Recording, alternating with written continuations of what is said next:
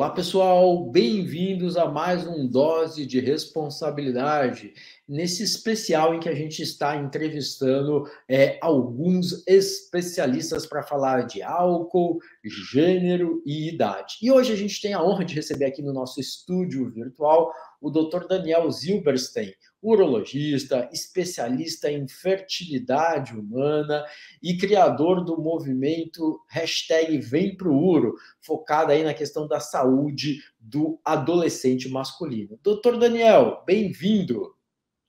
Oi, Jairo, um prazer estar uh, tá falando contigo de novo. A gente se encontra durante o ano para alguns eventos. Muito obrigado pelo convite. Uh, adoro conversar contigo, adoro conversar sobre medicina, especialmente quando a gente aborda também a saúde dos adolescentes, né, dos homens. É sempre um prazer. Muito obrigado pelo convite. Imagina, Daniel, o prazer é nosso de ter você aqui com a gente. E, querido, deixa eu começar te perguntando o seguinte: é, você percebe uma pressão do grupo para que os homens bebam mais cedo, né? É, é, que a gente chama de pressão de pares ou peer pressure. É, você sente que isso é uma questão que ainda hoje chega é, para os teus pacientes mais jovens, os teus pacientes adolescentes? Então, é, isso é interessante, né? É, isso talvez sim, a resposta é sim, existe uma pressão, às vezes uma pressão até informal de que isso aconteça. É, a gente vê muitas vezes no, no, seio familiar, né, que muitas vezes é o pai, o avô, né, propondo ali com o menino, ali numa festa, no final de semana, numa reunião familiar, né, experimente a cerveja, né, tome uma dosezinha de uísque que o avô está tomando, né, como se fosse alguma coisa assim mais mais uh, masculinizada em relação né, ao uso do, de, da substância, né, do álcool. É, então a gente vê isso sim, essa pressão. Os próprios amigos, né, também acabam, né, quando se reúnem, acabam promovendo também o acesso ao álcool, às vezes por um o irmão mais velho já, né, com seus, né, mais de 18 anos, tem irmão mais novo, irmão mais velho, não, vem cá, vamos experimentar, já está na hora, né? Tá na hora de virar homem, né? Como se o álcool deixasse alguém mais viril ou mais homem do que outro que não bebe, né? Então, a gente vê isso sim. E eu estava pensando, né? Tu começou a fazer essa pergunta, eu pensei, puxa, mas muitas vezes a gente vê no nosso seio familiar mesmo de uma forma tão rotineira, a gente nem percebe. É... Que uma coisa, Jairo.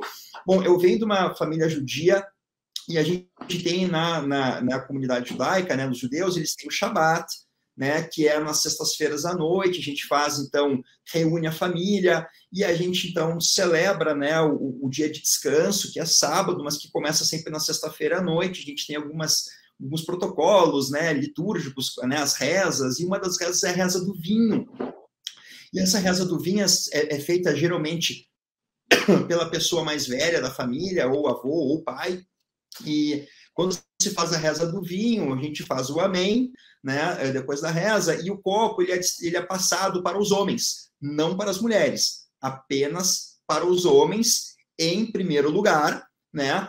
É, e os homens, então, eles é, são convidados a ingerir né, um pouquinho do vinho que está nesse copo. E, e, não são só os homens acima de 18 anos, nós temos adolescentes, nós temos crianças, né, e crianças mesmo, que vão lá e tomam um golezinho ou colocam o dedinho né, dentro do copo e, e, e, e colocam o dedo na boca para, pelo menos, né, fazer o contato do vinho com, né, com o organismo.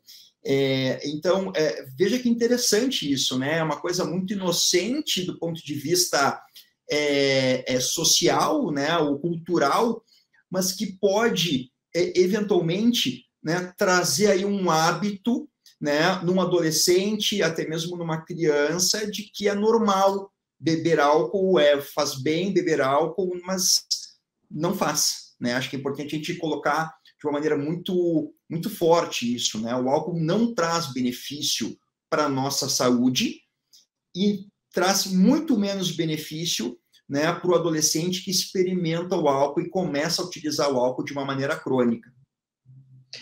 Daniel, você falou algumas questões super importantes, né? Essa, essa pressão, né, que, que muitos homens, é, muitos garotos enfrentam para beber mais cedo, não vem só dos pares, não vem só dos grupos, né? É, em muitos grupos há quase um ritual de entrada, né? Você tem que beber para fazer parte do grupo, mas também muitas vezes dessa, dessa família que reproduz né, uma, uma, uma, masculinidade, né, que liga é, é, essa questão do, do, do, ser homem ou de, ou de fazer parte do grupo ao consumo de bebida. Né? É, essa, essa masculinidade tradicional, você até citou o exemplo aí da, da religião judaica, mas é, eu acho que outras religiões isso acontece também, outros grupos não religiosos também, acho que eu, eu, eu vejo também isso acontecer, né? É, é, essa masculinidade tradicional, que, que, muitas vezes empurra, né, de uma certa maneira, o jovem para alguns padrões de consumo é, de álcool, ou às vezes até alguns padrões de comportamento mais agressivos, mais violentos tal. É, você acha que essa masculinidade tradicional é, também pode impactar os cuidados que os homens têm com a sua saúde de uma maneira geral? Eu lembro um dado que você sempre fala que me deixa muito chocado, é que a chance do garoto, é uma pesquisa de vocês, né, da Sociedade Brasileira de Urologia, a chance de um garoto chegar no médico na adolescência é 20 vezes vezes menor do que de uma garota chegar, né?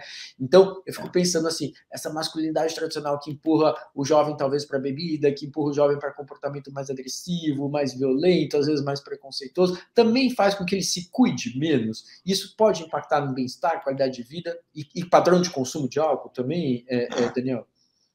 Com certeza, Jair. Porque o que, que acontece, né? Na adolescência, uh, nós temos o cérebro ainda em formação. Né? a adolescência ela acaba aos 18 anos, do ponto de vista cronológico, mas o cérebro ainda continua se desenvolvendo, né? até os 20, 21, 22 anos. E, em especial, Jairo, o que a gente chama de, de, de uh, uh, o córtex pré-frontal.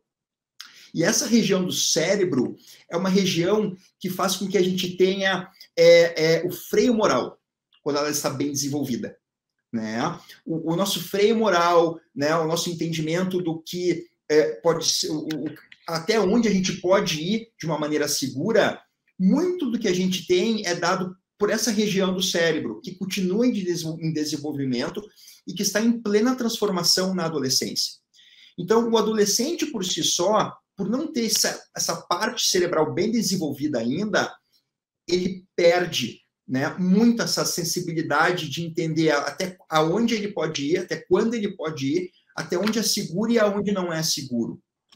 Né? E o uso do álcool, ele gera uma total desinibição desses processos. Né? Ele, ele, ele age como uma, uma, um grande estimulante, né? já num adolescente que, por si só, a adolescência já é, já é uma época de descobrimentos, né? uma época de, que envolve riscos, né? É, é, é, normal a gente entender que os adolescentes se coloquem em riscos exatamente por essa transformação ainda que não está pronta, ou por essa formação cerebral que ainda não está pronta, e o álcool ele vem como um, um estimulador disso tudo, como um catalisador é, desses é, comportamentos de riscos que podem acontecer. Então é muito comum o jovem, quando bebe, ele perder o seu autocontrole, que já não é tão controlado naturalmente. Né? E aí, claro, ele pode entrar numa relação sexual é, e não usar o preservativo, né? Ele pode entrar em relacionamentos sexuais, inclusive com mais de uma pessoa, né? E se colocar em maior risco ainda, né? E aí a gente está falando é, de uma gravidez não desejada na parceira, né? Onde ele também se coloca nesse processo todo, né? Como como participante ativo disso tudo, né? E com todas as, as suas responsabilidades. Nós temos, claro, as inúmeras ISTs.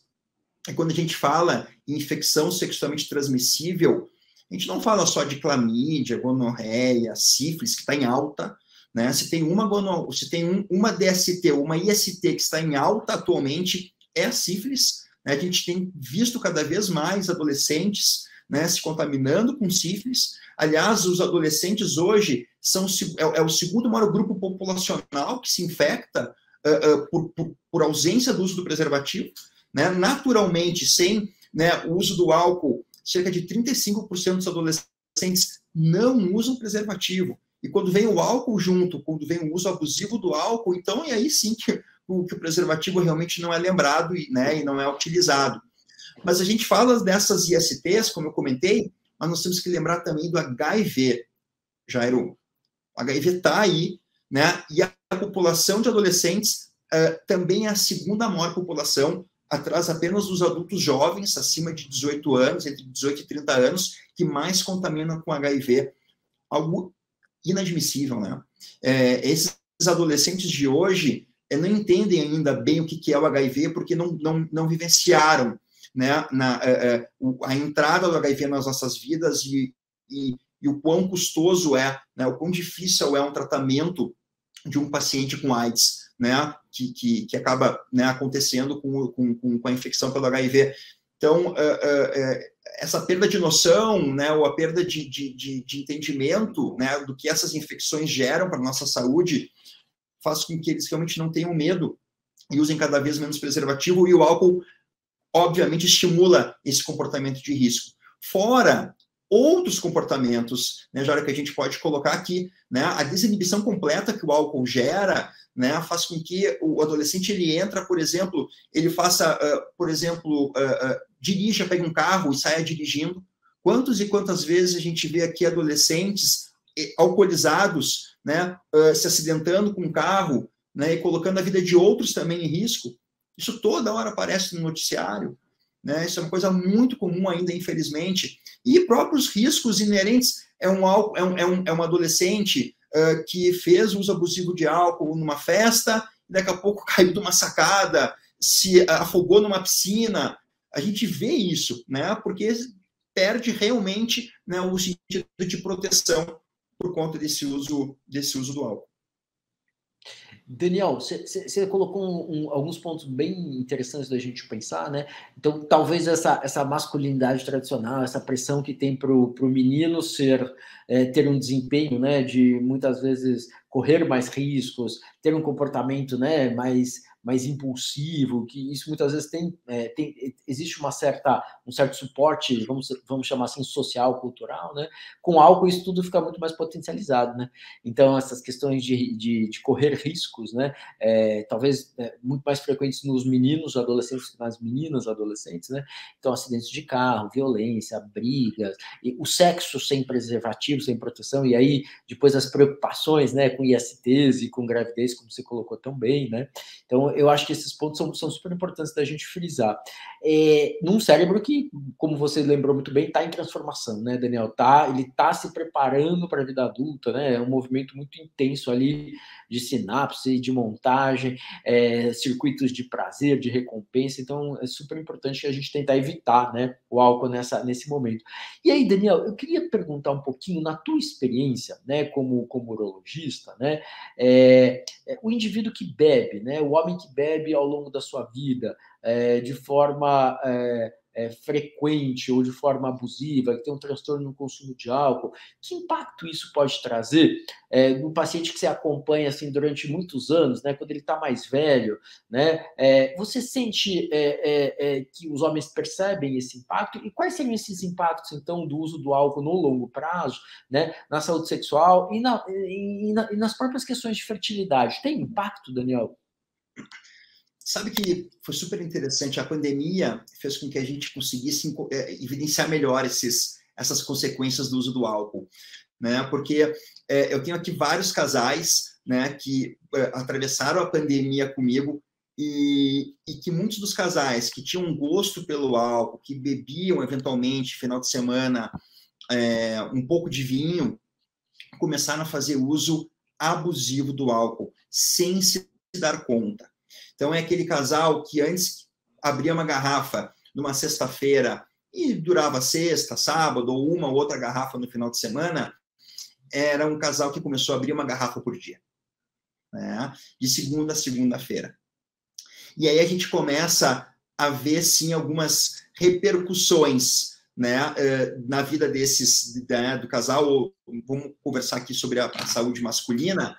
Né? Então, por exemplo, a gente sabe que o álcool ele gera, digamos assim, no início né, é, do uso um relaxamento e por isso que o álcool foi tão procurado pelos pelos homens, pelos casais, enfim, né, é, é, durante a pandemia para realmente passar melhor esse período de tanto estresse, né, que gerou, né, não era só o estresse de se contaminar pelo coronavírus, mas era um estresse social, um estresse de trabalho, né? Quantas e quantas pessoas perderam seus trabalhos, ou tiveram que modificar sua rotina de vida, ou perderam entes queridos, quer dizer, tudo isso fez com que muitos, muitas pessoas buscassem no álcool uma, uma fuga, né? Um, um sentido de prazer para esquecer, entre aspas, um pouquinho, né? Todos esses problemas que surgiram. E aí eu tenho um caso muito interessante que eu lembro, Jairo, que um paciente é, começou a fazer uso abusivo de uísque. Ele usava basicamente uma garrafa de uísque a cada dois, três dias. Isso é muita coisa. Né? Quando a gente fala, na verdade, de um, uma, um, um, cálice de vinho por dia, a gente já pode colocar como um, um uso abusivo do álcool. Né? É, imagina, então, uma garrafa de uísque durando dois, três dias. E o que, que aconteceu com esse homem? Foi muito interessante ele tinha um espermograma praticamente normal, um espermograma compatível com uma gravidez natural. E o que, que aconteceu depois de seis meses de uso abusivo? Ele entrou em azospermia. Nossa. Ele perdeu completamente a produção dos espermatozoides, sem ter nenhum outro fator evidente para que ele tivesse perdido, a não ser o uso abusivo do álcool. E não só, claro que o relacionamento dele começou a entrar né, em conflito, né, a relação dele com a esposa né, começou a gerar conflitos, começou a gerar uma desarmonia. Ele já tinha uma filha, eles estavam buscando o segundo filho, que não estavam conseguindo, então ele já tinha comprovado né, o potencial reprodutivo dele, tinha uma filha de 3, 4 anos, né, então começou a ter uma desorganização né, da harmonia da casa. E aí veio a conversa, olha, não dá para usar é, o que você está fazendo, não dá para continuar né, usando o álcool dessa maneira. Não é só questão de, de fertilidade que está em risco, tem risco outras questões, né? não só da saúde, mas também social e de, uh, uh, uh, de bem-estar. E ele parou, de imediato, de imediato ele parou, assim como ele começou, ele parou, ele teve esse, esse entendimento e essa força de parar, nem todo mundo tem, né, Jara? A gente sabe disso né? É, o, o, abuso do álcool ele realmente leva à dependência e é uma droga lícita, uma droga que tu encontra, que tu compra em qualquer lugar, né? Então é, é difícil parar de beber álcool. Ele parou de beber álcool. Em cinco meses o espermograma dele voltou ao normal, ao que era antes, né? Retornou o que era antes. Isso é interessante, né, Daniel? Então, é, é, como, como. E foi um efeito mais agudo, né? É, como isso no longo prazo, né? Para o indivíduo que começa a beber muito cedo, né? Sei lá, aos 15 anos de idade, aos 18 anos de idade, se ele bebe muito tempo, 20 anos, e resolve ter um filho aos, aos 35, 38 anos, além da questão da idade, né? Que já pode impactar a fertilidade, parece que, pelo que você está contando, tem esse fator de risco também, né? É, e, e, Daniel, é, e os homens mais velhos, assim, que, que que, que, bebem ou que beberam muito durante toda a sua vida podem ter mais dificuldades de ereção ali é, é, na sua vida mais madura? Quer dizer, além das, das questões dos processos fisiológicos que, que, trazem algumas dificuldades, o consumo de álcool também, é, ou o consumo excessivo de álcool também pode impactar essa saúde sexual um pouco mais para frente, Daniel? Pode. Voltando antes só, Jairo, ali na ah, relação do álcool com a fertilidade, é, olha que interessante, assim, o álcool, ele, ele tem, assim, tem dois tipos de, de, de ingesta de álcool, né? Aquela ingesta mais crônica, é, de pouca quantidade, mais crônico, e tem aquela ingesta do tipo binging, né? Quer dizer, fica um tempo sem tomar, mas quando toma, toma todas, né? Uhum. Toma 15 garrafinhas de cerveja, toma meia garrafa de vodka. É, aquela, é, é aquele uso pesado, né? Só que mais com intervalo maior de tempo. É, o que os estudos mostram é que geralmente, bom, nenhuma das, dos, dos dois uh, tipos de uso trazem benefício para a parte reprodutiva, isso é fato. Né? Agora, o uso pesado, mesmo que seja em, um intervalo de tempo maior, ele geralmente é pior do que o uso crônico para a qualidade seminal. Né? Então, tem uma toxicidade maior nas células que produzem espermatozoides, atrapalha mais a motilidade, né? Uh, e o uso crônico é que pode levar uma cirrose, né? Aí sim, a cirrose traz um desequilíbrio muito grande, inclusive entre os hormônios, né? Tu tem uma diminuição do nível de testosterona sendo produzido pelo organismo, sendo metabolizado, tu tem um aumento do nível de estradiol, então tu tem uma questão hormonal também interferindo na produção dos espermatozoides. Então, às vezes, não é só o efeito tóxico uh, uh, inato do álcool né, dentro do organismo, a gente tem que lembrar que o álcool, 95% do álcool que a gente ingere é absorvido pelo nosso organismo pelo, pela, pela, pelo estômago, pelo intestino. Né? Só 5% é que sai completamente fora, não metabolizado. O resto tudo é metabolizado.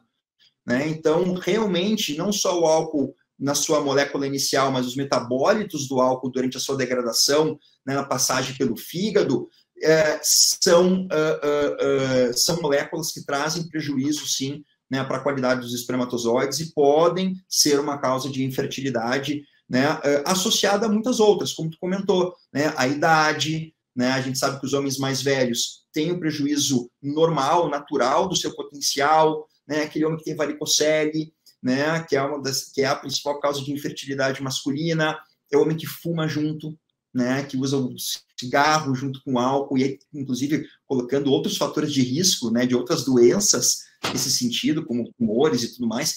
Então, sim, né, mais uma vez o álcool ele não traz um benefício algum para a parte reprodutiva, tanto do homem quanto da mulher.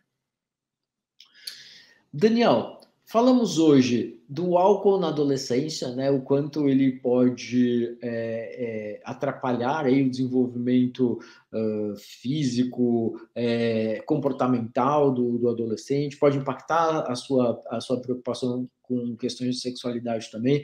Falamos dos impactos do álcool é, na fertilidade é, do homem, falamos dos impactos do álcool, dos possíveis impactos do álcool é, na, na, questão do, da, da, saúde sexual do homem. A gente cobriu aí uma pauta grande de álcool, homens, sexualidade é, e saúde sexual. Eu queria, é, para terminar, pedir para você deixar o teu recadinho final aí para quem está assistindo a gente é, com relação a, a, a, essas questões de álcool, né? É, como que, é, que, que mensagem você gostaria de deixar em relação a essa questão de álcool e saúde masculina? Tá, perfeito. Antes da minha mensagem, eu não te respondi da ereção. Né? Ah, pois o é. Álcool, sim, o álcool, sim, Jairo, ele prejudica a ereção no seu uso abusivo. Vamos lá, o, álcool tem várias fases, né? Então, contando um pouquinho de álcool, é, porque muitos homens falam assim, não, agora eu vou tomar álcool para relaxar, e aí eu vou ter um relacionamento melhor, eu vou ficar, né? E sim, isso é verdade, né? Do ponto de vista, assim, de desinibição, né? De se sentir mais fortalecido, né? Mais destemido ali na hora do rala e rola, né? Às vezes rola um pouco de vergonha e tudo mais, e aí o álcool ele dá em pequenas doses, o álcool ele tem esse efeito, digamos, estimulante, né, de deixar o homem é, mais é, é, fortalecido ali na, na, na, relação, né, mais apto para o relacionamento sexual. Só que, entretanto, o álcool ele tem um efeito é, ruim para a circulação de sangue, por exemplo, no pênis, que é o que garante a ereção. Então, é, o álcool ele até pode passar né, sensação de, de, de, desinibição, se sentir menos tímido, mais confiante para ter um relacionamento sexual, mas mesmo em doses pequenas e, obviamente, em doses maiores, tem um efeito muito ruim na ereção peniana. E dependendo do, do, da quantidade de álcool utilizado, e aí sim, em doses maiores, pode inclusive levar a dificuldade de orgasmo o homem não consegue ter um orgasmo. Né? E isso, obviamente, vai atrapalhar completamente o relacionamento sexual daquele momento. Então, é, é, o álcool ele tem uns mitos. Né? E isso é um dos mitos, não, que o álcool faz bem para a relação sexual, que eu vou dormir melhor tomando álcool, é uma grande mentira, né? O álcool, mesmo em doses pequenas à noite, ele perturba o sono né? Ele, ele, prejudica o sono, né? Então aquela história de não vou relaxar para eu descansar, dormir melhor, isso não é bem verdade, né? O álcool até pode dar aquela sensação de relaxamento, né? De, de, de digamos assim, de tranquilidade em doses pequenas, mas ele também vai prejudicar, por exemplo, é, é, o período REM, né? Do sono e tu vai ter uma noite de sono pior em relação, é, no caso se não usasse o álcool. Então, olha como o álcool tem mitos, né? E como a gente precisa desmistificar esses mitos relacionados ao uso do álcool. Jairo, eu acho assim, como mensagem final, é, a gente tem muito aquela noção que o, o, o álcool né, em pequenas doses faz bem, que o vinho em pequenas doses faz bem para o coração, que diminui a pressão arterial sistêmica e que a gente pode ter muitos benefícios com o uso do álcool de uma forma é, rotineira, em pequenas doses. É, eu acho que isso até é verdade, é, mas a gente tem outros aspectos da nossa vida colaborando para isso. De repente, se a gente morasse lá no sul da França, no Mediterrâneo, uma dieta né, do Mediterrâneo, né, vivendo naqueles vinhedos da França, da Itália, sem todo o estresse da vida, né, sem a, toda essa alimentação que a gente tem hoje, né, rico em produtos ultraprocessados, né, quer dizer, é, eu acho que o álcool ele faz parte de, um, de, um, de, uma, de uma cultura, né? E não é o fato de tomar um pouquinho de álcool que a gente vai ter o benefício inequívoco do álcool na nossa saúde. Muito pelo contrário, a gente tem que deixar muito claro que o álcool é uma droga, ela é uma droga lícita, mas que ela traz repercussões importantes no nosso organismo. E que muitas pessoas suscetíveis ao álcool podem, ser, podem sim começar a ter um uso abusivo do álcool e ter grandes problemas na sua vida pessoal, social, profissional, por conta do uso do álcool, que pode começar com doses pequenas, mas que em pouco tempo essas doses aumentam e vira realmente um uso abusivo sem a percepção de quem faz uso. É, então, é, a minha dica sempre é: adolescentes, não se exponham ao álcool. Não faz sentido usar álcool. E os pais que estão nos escutando aqui, Jairo, é importante é, serem assertivos em relação a isso. É importante que os adolescentes saibam né, o que, que os pais estão orientando eles. Não tenham medo, os pais, de falarem, não use álcool. O álcool faz mal para a saúde. Porque o, o adolescente ele não tem a noção do que, que está acontecendo, o cérebro está em desenvolvimento, ele vai trazer algum prejuízo. Para alguns adolescentes vai ser muito prejuízo. Então, os pais não têm que ter medo de uh, uh, contrariar a vontade dos filhos e de orientar. E aí cabe ao livre-arbítrio de cada adolescente fazer uso do álcool ou não nas suas, nas suas relações sociais, né, nos seus, nas suas reuniões entre amigos, mas eles sempre vão saber qual foi a palavra que os pais deram para ele. Que a palavra era: cuidado, não use álcool. O álcool traz prejuízo para a saúde o álcool não vai trazer benefício algum em relação à sua saúde, em relação ao seu bem-estar. Então é importante que a gente traga essa mensagem para os pais, que os adolescentes nos escutem, entendam isso, que o álcool realmente é uma droga, como o tabagismo é uma droga, como o narguilé é uma droga, como outras drogas socialmente aceitas, né, fazem mal à saúde, né, e que os pais tenham essa, essa realmente essa, essa noção de que é, é, o dizer não é, é muito importante, né? é uma segurança para a saúde dos filhos. Daniel, super obrigado. Recado super importante. Acho que a gente conseguiu traçar um panorama bem interessante aí desse recorte álcool, gênero e idade. É, queria agradecer novamente as tuas informações, a tua disponibilidade de estar aqui com a gente. Muito, muito obrigado. E a você que nos acompanhou, espero que vocês tenham gostado de mais esse especial do Dose de Responsabilidade. E se curtiu, volte, porque logo, logo a gente tem mais novidades para vocês. Muito obrigado.